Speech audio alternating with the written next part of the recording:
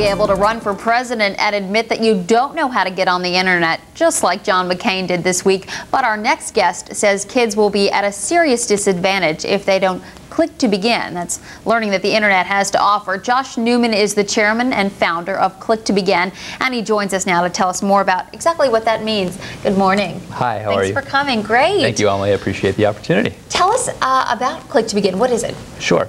Well, it started off with an idea of just a tiny bit of background. I run a digital agency and we produce websites and uh, 2D, 3D animation, marketing campaigns, and media buying planning. And so it came from an idea of being able to figure out how can we give back to the community that helped us kind of get to where we are. And so um, just in sitting around with uh, Doug Rowell, who's our executive creative director and my business partner, and Steve Eaton, who is our head of finance and HR, we were thinking of what can we do to give back. And uh, just had, I'd remembered about five years ago when I was living in Washington, D.C., helping out a gentleman named Lowell Dodge, and uh, his group was called First Time Computers, and they had taken used computers that were donations from uh, either individuals or from companies. They would wipe the hard drives clean and they would place them in uh, homes and schools and so on. Mm-hmm. And we thought that it was really a fantastic idea and a fantastic program, but the one thing we wanted to kind of do to, uh, to take it to the next level was to be able to do that idea but with new computers. We just don't have kind of the support to be able to really start off with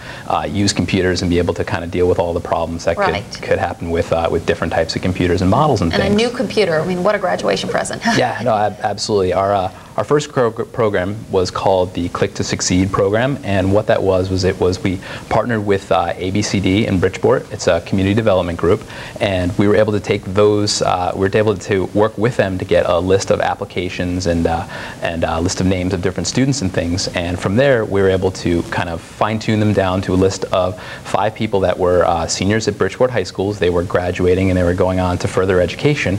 And from there, we gave them uh, new laptops with uh, full Microsoft Vista operating system wow. with uh, Microsoft Office latest editions.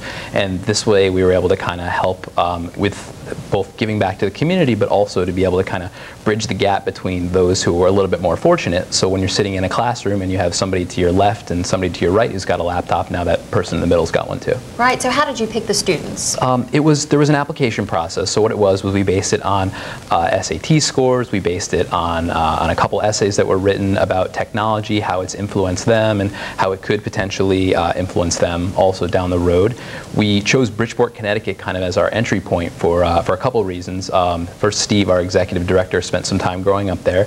Um, my mother had actually taught in Bridgeport for several years, where she taught the uh, inner city gifted program for Great. fourth and fifth graders, and so there's kind of a, a, personal place in my heart for for Bridgeport. So it seemed like a, a nice area to start.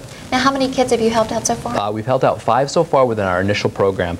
Part of the uh, the issue we've run into, and we certainly have some some big dreams, but we've run into a couple issues where it's almost the chicken and the egg thing. Is in order to get grants and to get fundraising, you have to show that you've done something. Mm -hmm. But in order to do something, you need money to start. Right. So we were able to kind of take the, uh, the what we call the low-hanging fruit to be able to say, all right, what's the easiest way that we can make a, an impact but do it quickly? And so the uh, the five computers that were uh, that were purchased were really a, a quick way to uh, get them to the students. We had this whole donation thing that, uh, and a whole event that was about uh, two weeks ago, mm -hmm. and those computers were now given to the students, and they'll be able to use them for in the fall when they're off to college. That's great. I, I can't imagine the feeling of giving the computers to these well-deserving students.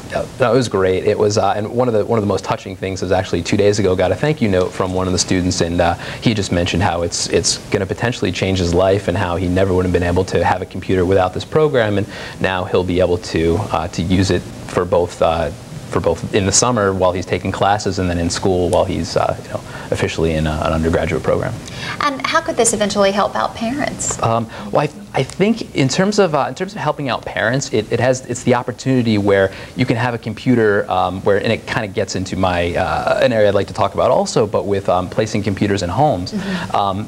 The laptop program, like I mentioned, was kind of the easier way for us to just get you know, make an impact quickly. Our longer term vision is the ability to have these computers, um, but placed in people's homes. So if we started with uh, children younger than, than high school, if we started with children who are five, six, seven years old, be able to have desktop computers put into people's homes and they'd be able to have uh, educational software on them. Ideally, they'd have uh, an internet connection and, uh, and from there, parents could work parents could work with the, uh, with the students to be able to kind of learn alongside them.